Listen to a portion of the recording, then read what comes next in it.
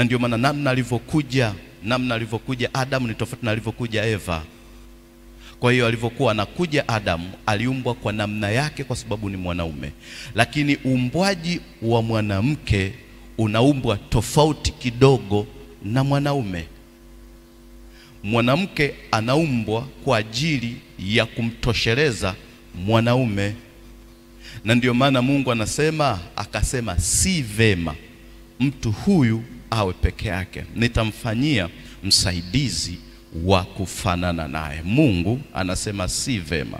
Inawezekana Adamu alikuwa hajitambui mapungufu yake kama Mungu alivyokuwa anamtambua, lakini alipomwona Eva akajiona utimilifu, utoshelezi fulani kwa Eva. Ndio maana akatamka haya maneno, huyu ni mifupa katika mifupa yangu, huyu ni nyama katika nyama zangu. Maana yake nini? Aliona Eva amebeba cha kwake.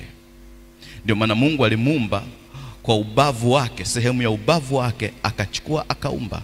Kwa kile ndicho kilichoumba kushabihiana. Kwenye tafsiri ya Kiingereza imezungumzia vizuri pale kwamba Mungu akasema nitamfanyia msaidizi wa kufanana naye. Pale amezungumzia anayefiti, who fit, anayefiti sio tu mradi msaidizi, amesema wametafsiri, wamesema anayefiti.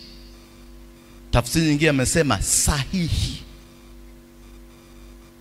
mtu sahihi, sahihi, mtu sahihi.